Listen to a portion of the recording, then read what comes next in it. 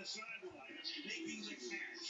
You know, I was thinking watching Steve Smith make that catch on third down, you might kind of wake him up here. And this is McCain, who played so well, two interceptions last week, but Smith has come up with so many big plays. I want to say 10 touchdowns in nine postseason games.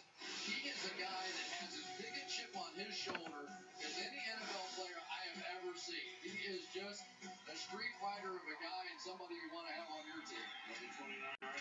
Pass is taken here by Smith Sr. Of